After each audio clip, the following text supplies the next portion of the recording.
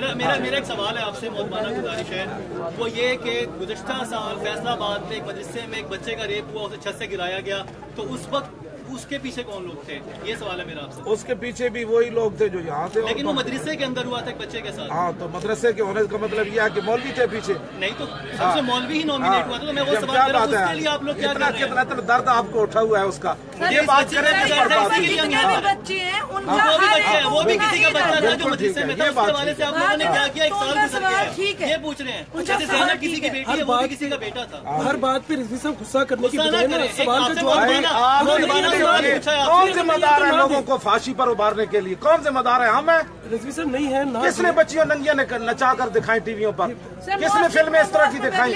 کس نے لوگوں دیکھیں ہاں، heated کس نے ذمہ داری ہے؟ ہم نے اپنی دفعہ آپ ہیٹڈ کی بات کر رہے ہیں آپ پھر سنیں نا۔ آپ گزارش کر رہا ہوں۔ ان ان بچوں کے لیے بھی ایسی ہی ایفرٹ کرنی چاہیے میں زینب کے لیے کرنی چاہیے ان بچوں کی آواز کرنا چاہیے وہ بھی کسی کے۔ کیوں نہیں کیمرے لے کر۔ گئے ہم آپ سے بھی جا رہے ہیں آپ بھی بولے ان کے ہاں،۔ انہوں- بچے یہ جذبات کس نے ابھارے؟ ہر بندہ وا- واشی کس نے بنایا؟ آپ نے بنایا ہم نے تھوڑا بنایا۔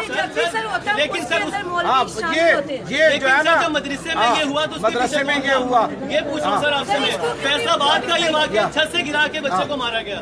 یہ واشی کس نے بنایا کہ بچے چھ سالہ بچیوں سے واش- واشیانہ حرکت لوگ کر رہے ہیں؟ یہ آپ لوگوں نے کیا۔ سر ہم ہاں لوگوں نے کیسے کیا؟ آزادی؟ کے نام پر بچیوں کی فلمیں کس نے دکھائی؟ سر اس میں بچوں ہاں۔ کی فلمیں نہیں ہوتی ہاں۔ سر میں سمپل آپ سوال کر رہا ہوں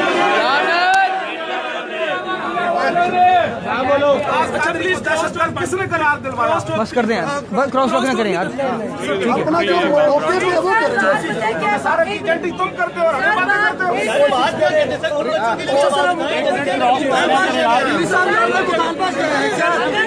رضوی صاحب، آپ درد رضوی صاحب رضوی صاحب، سب کی کہہ رہے ہیں، سب کی کہہ رہے ہیں۔